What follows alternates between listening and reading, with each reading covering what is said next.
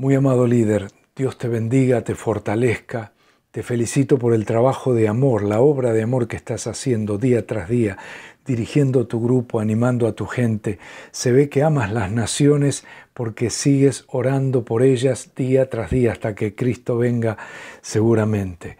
Bueno, quiero mencionarte tres cositas que pueden ayudar esta semana. Número uno, eh, contarte esta experiencia también. Esta semana eh, tuve momentos donde me sentí que ya me quebraba, parecía que ya, ah, la carga.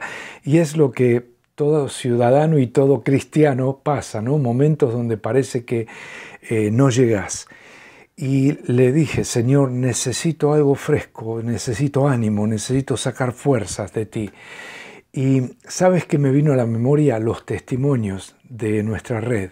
Entonces me fui a una hoja donde tenemos cientos de testimonios. Eh, leí unos 130 a 140 testimonios. Bueno, con eso ya levanté el ánimo. Quiero recordarte el poder de los testimonios para que los leas, para que comuniques los testimonios que tienes en tu grupo y en tu ministerio, eh, que nos envíes los testimonios para que también los publiquemos eh, en la llave. Entonces, esa es un arma poderosa que Dios nos da. En segundo lugar, eh, esta semana la estamos dedicando a llamados que renuevan.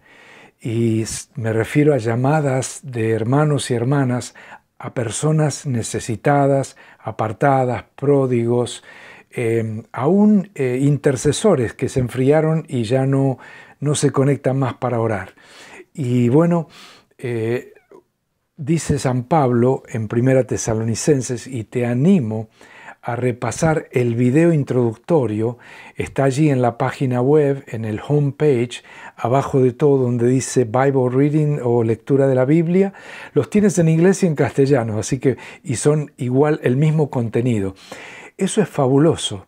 En ocho minutos, por ejemplo, te da una introducción fantástica al libro de, de Primera Tesalonicenses te animo a que lo leas porque eso te va a dar, o lo, lo, mires, eso te va a dar más fuerza durante la semana para poder motivar a tu grupo.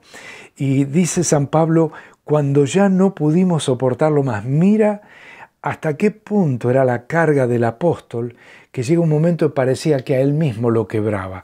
Y yo sé que estoy hablando a líderes preciosos, la mayoría de ustedes no son nuevos convertidos, son cristianos experimentados, ya vienen de años en la obra del Señor.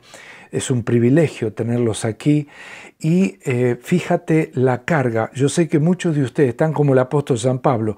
Él mismo estaba agobiado por la persecución. Por ejemplo, en Filipo, antes, y lo van a leer en Primera Tesalonicense, antes de él poder visitar por primera vez y plantar la iglesia en Tesalónica, él había sido perseguido, estuvo en la cárcel de Filipo, estuvo eh, eh, con, con cadenas, golpeado, sufrido, sangrando.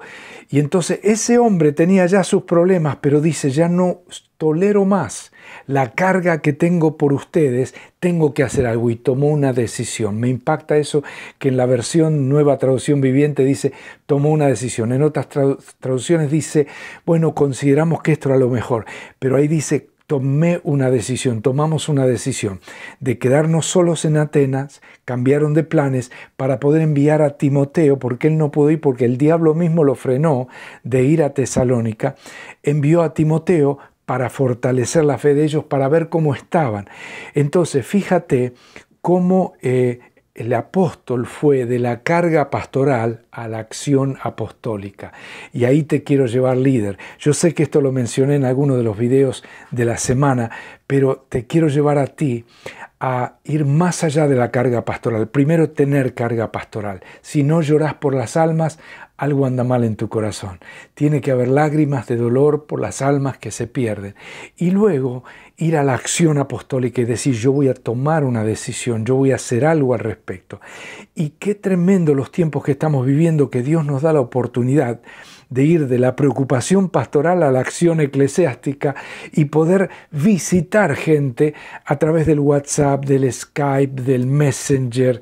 Eh, es impresionante, podemos llamar gratuitamente a cualquier parte del mundo, por eso te animo a que lo practiques en tu vida, pero también lo pases a otros. ¿sí? Que Dios te bendiga, dedica 10 o 15 segundos en tu grupo esta semana para recordarles de que llamen a otros, hagan esas llamadas gloriosas que renuevan a la gente. Dios te bendiga. Seguimos marchando hasta abrazar el mundo en oración.